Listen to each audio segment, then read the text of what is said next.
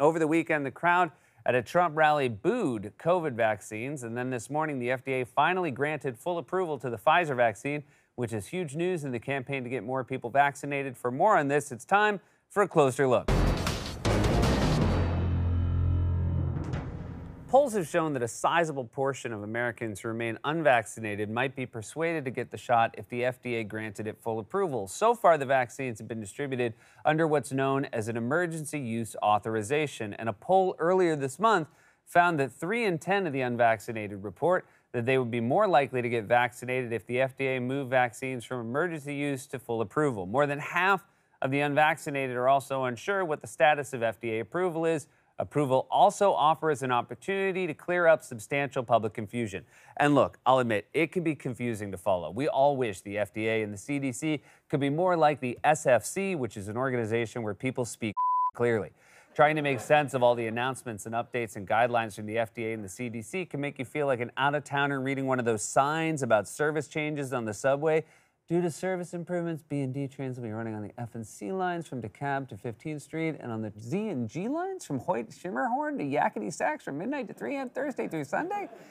Personally, I did not care what kind of authorization the vaccine had. The second they said I was eligible, I lined up outside. Javits, like I was trying to get tickets to SNL the week BTS was on, or the week I hosted. Should have seen the sidewalk outside 30 Rock. Seth Meyers? I thought that guy was too good for an audience.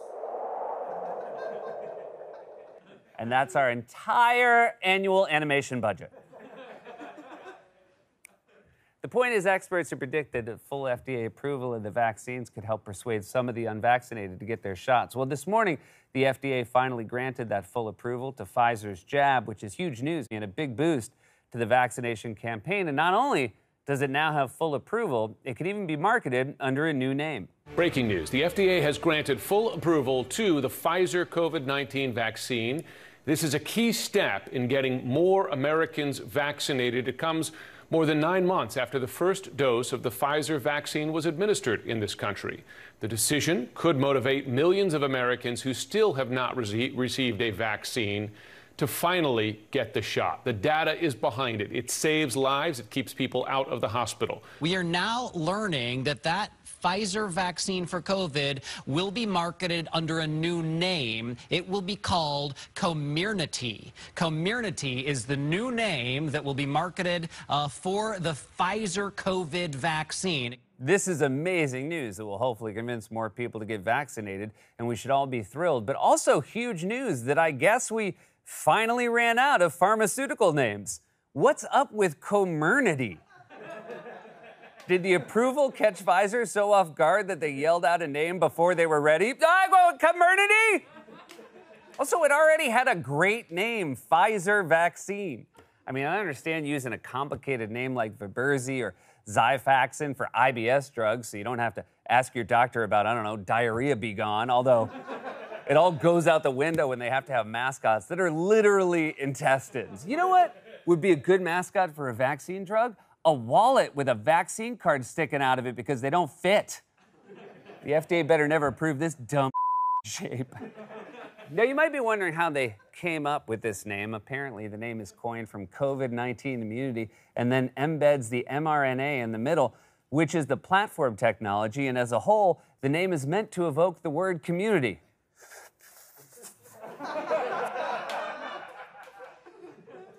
So it actually like makes sense, dude. God, it's like a riddle Tom Hanks would have to solve in the Da Vinci Code to find out the location of the Holy Grail. It's in Toledo. Wait, oh, I don't think we did this right. There's so many different words embedded in this name. It's giving me flashbacks to yesterday's New York Times spelling bee. I was one word away from genius. You're telling me I missed tall? Screw you, spelling bee. I'm going back to Ken Ken. By the way, it is possible to have a much better name. You know what Moderna's vaccine is called? Spikevax. Hell yeah. It sounds like a vaccine that protects you from COVID and gives you a mohawk or one of those sketchy boner pills they have at the bodega. Spikevax sounds like the drugs teens are using in a YA sci fi series called, I don't know, The Nest World Chronicles.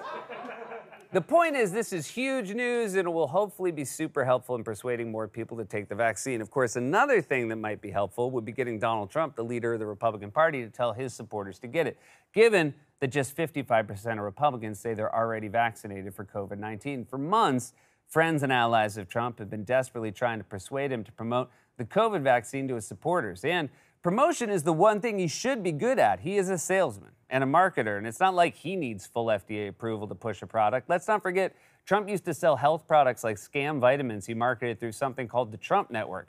Among other claims, the Trump Network asserted it could use a urine test to recommend customized nutritional supplements. The business mogul encouraged people to take an expensive urine test, which would then be used to personally tailor a pricely monthly concoction of vitamins. And if there's anyone you can trust to tailor something to your specification, it's old bag suit here.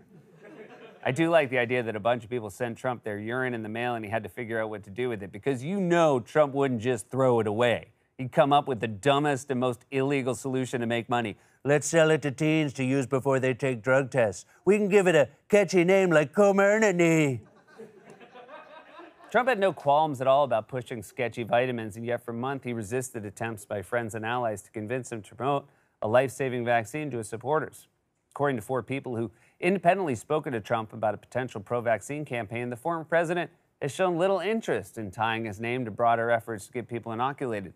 Senator Lindsey Graham, a top Trump ally on Capitol Hill, told the Associated Press that he encouraged Trump to speak up and to be aggressive and say, take the vaccine. Oh, Lindsey, haven't you learned by now? It only goes one way. Trump doesn't listen to you. You take orders from him. Trump's like the big city businessman in a Tennessee C. Williams play who moves into town to buy up all the land, and Graham's the little boy who does one off jobs for him, hoping Trump will toss him a nickel. Meemaw! Meemaw, Mr. Trump said he'd give me a job in New York City if I helped him steal the oil lease from the Hendersons. No, you can't come with me, Meemaw. I'm to make a name for myself, and I don't want you bumming everybody out with your carpal tunnel sleeve.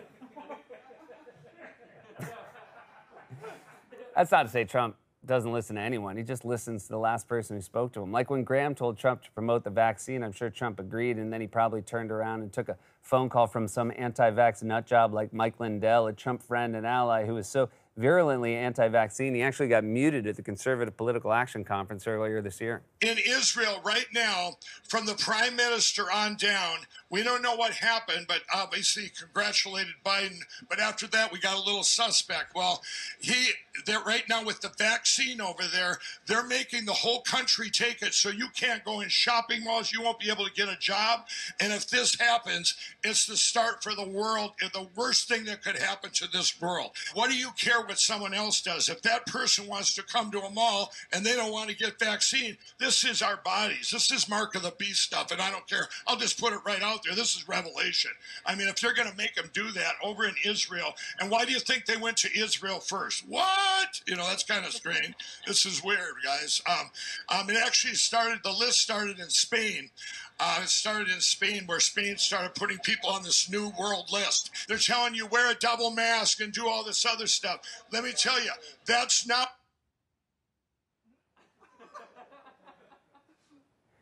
I mean, I bet he was mad they cut his mic, but he also had to be mad with the picture they put up next to him while he's talking. Don't put up the picture of me hugging the pillow like it's my lover. Not when I'm talking science. I mean, they cut off his mic, but I feel like it's also possible his mouth just never stops moving even when he's done talking. If you really wanted to scare people off the vaccine, he should just tell people he got it. Oh, wow, you took the vaccine and now you're like this? Well, thank you for the heads up. And even Trump himself, when he's taking credit for the vaccine, can't help but use it as an occasion to criticize Biden, as he did last week on Fox Business. I'm very proud of the vaccine. I've taken the vaccine. I'm very, very proud of it. At the same time, some people don't want to take it. And you know, when I was president, you didn't have this problem with people not wanting to take it. They don't take it because they don't trust Biden and they don't trust the Biden administration. People don't trust Biden. I mean, say what you will about the guy, but he's way more trustworthy than you, according to both polls and common sense. If you ask Trump about vaccines, he'd end up rambling about Hillary's emails or windmills killing birds. But with Biden, you know he's not holding anything back because he immediately blurts it out. His aides must watch him talk to reporters the same way you watch your grandpa talk to your coworkers at your wedding. what was he saying to you guys? Well, we just asked him if he was proud of you, and then he told us about the time you peed your pants in Little League.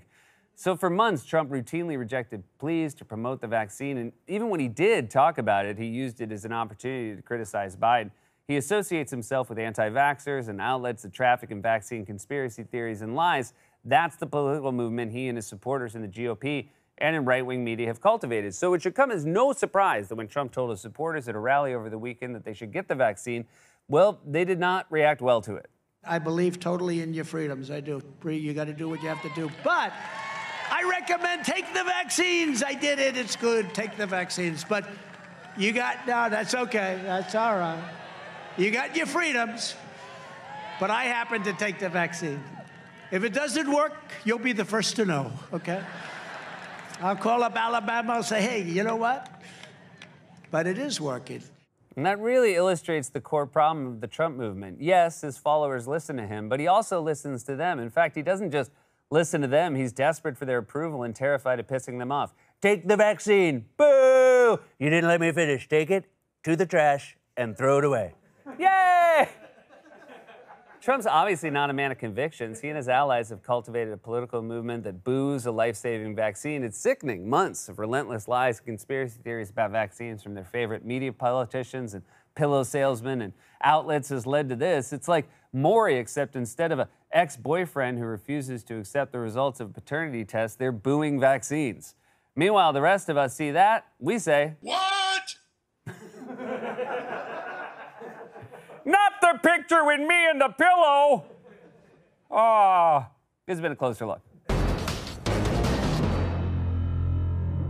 God's Love We Deliver cooks and brings over 2 million meals a year to men, women, and children living with HIV, AIDS, cancer, and other serious illnesses, and they need your help now more than ever. If you're watching this online, you can hit the donate button. Stay safe, get vaccinated. We love you.